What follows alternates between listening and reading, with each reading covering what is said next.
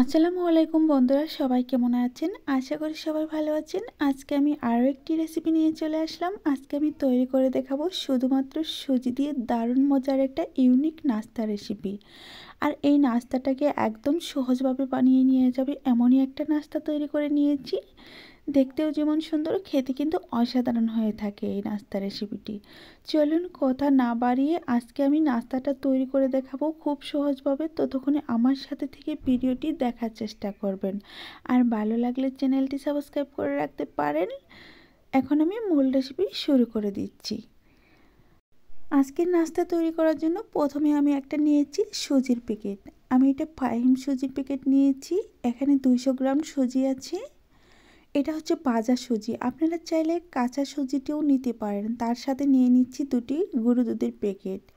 এখন আমি চুলায় চলে আসলাম, একটা ফ্রাই প্যান বসিয়ে দিয়েছি। আর সুজির প্যাকেটটা কেটে সুজিটা নিয়ে আমি দু মিনিটের মতো হালকা একটু বেজে নিয়েছি।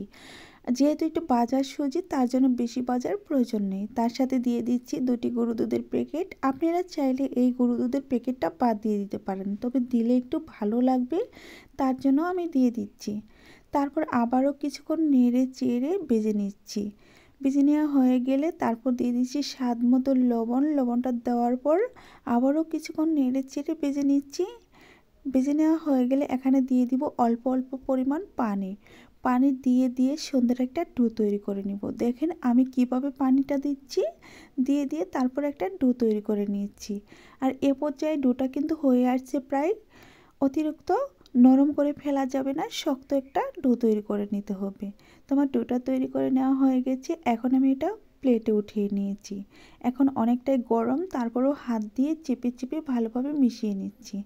যখন মিশিয়ে নেওয়া হয়ে যাবে, তখন এখানে অ্যাড করে দিতে হবে স্বাদ মতো চিনি। চিনিটা আপনাদের পছন্দ মতো দিয়ে দিবেন, আর চিনিটা অবশ্যই শিলপাটায় গুঁড়ো করে নিয়ে তারপরে দিবেন। তা না হলে চিনির দানা দানা থাকবে, তখন কিন্তু নাস্তাটা একদমই ভালো আসবে না। যখন চিনিটা মিশাবো তখন কিন্তু হালকা একটু নরম হতে পারে, তখন আপনারা চাইলে অল্প একটু ময়দা মিশিয়ে দিতে পারেন।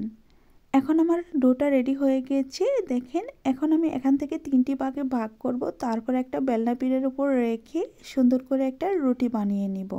আমি একটা ভাগ একটা পিড়ির উপর তুলে নিচ্ছি, নিয়ে তারপর ডলে ডলে সুন্দর করে রুটি বানিয়ে নিচ্ছি, দেখেন রুটিটা এইভাবে বানিয়ে নিতে হবে। হালকা একটু ময়দা দিয়ে তারপর রুটিটা বানিয়ে নিতে হবে। যেহেতু এখানে চিনি দেওয়া হয়েছে, সেহেতু পিড়িতে লেগে যেতে পারে। এভাবে রুটি বানিয়ে তারপর এখান থেকে আমি নাস্তাগুলো তুলে নিব। আর রুটি কতটুকু মোটা রেখেছি একটু দেখে বুঝে নেওয়ার চেষ্টা করবেন। তারপর এরকম একটা ছোট কুকি কাটার দিয়ে আমি নাস্তাগুলো তুলে নিচ্ছি। আর এগুলো বানানো খুবই সহজ। আপনারা বোতলের শিপি অথবা যে কোনো কটার মোকা দিয়ে এই নাস্তাগুলো তুলে নিতে পারেন। আর যে কোনো সাইজে বানিয়ে নিতে পারেন। আমি একইভাবে সবগুলো নাস্তা বানিয়ে নিয়ে তারপর দেখাবো সবগুলো নাস্তা বানানোর পর কতটা সুন্দর হয়েছে। খুব সহজভাবে এই নাস্তাগুলো তৈরি করে নেওয়া যাবে। দেখেন আমার সবগুলো নাস্তা কিন্তু তৈরি করে নেওয়া হয়ে গেছে। এখন আমি নাস্তাগুলো বাজার জন্য চুলায় চলে এসেছি।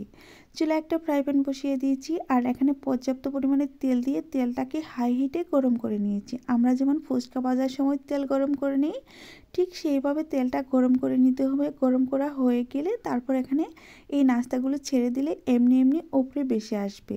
দেখেন একদম ফুচকার মতো ফুলে ফুলে উঠছে, তাই আমি এটাকে মিনি ফুচকা পোয়া পিঠা।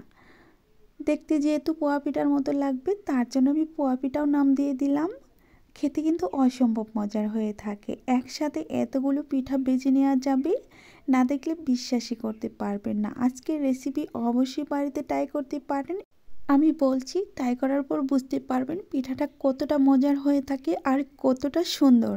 আপনারা ট্রাই করে দেখতে পারেন। এখন আমি উল্টিয়ে পাল্টিয়ে ভালোভাবে বেজে নিব। দেখেন সুন্দর একটা কালার আসা পর্যন্ত আমি এভাবে উল্টিয়ে পাল্টিয়ে বেজে নিব।